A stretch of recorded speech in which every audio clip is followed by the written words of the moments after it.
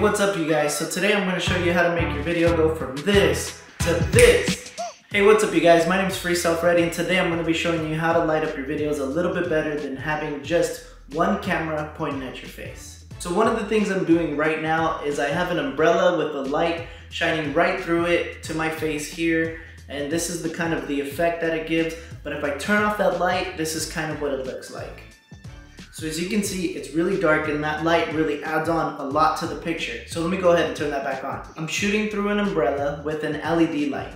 It's nothing special. On Amazon, you can buy the LED light for probably $25 and the umbrella is probably $15 by itself. But you're gonna wanna get a stand with it because it's gonna make everything complete and help you get this perfect picture.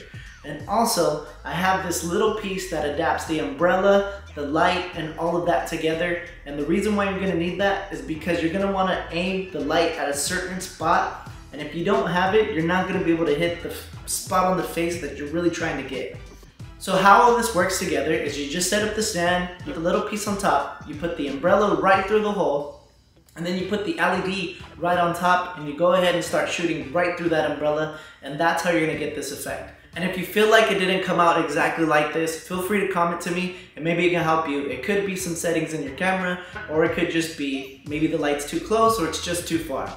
But let me help you out. Feel free to send me a comment and I'll be sure to check those out. So thank you guys very much for watching my video. Stay blessed, don't stress, don't worry about the steps, have faith in Jesus. Peace.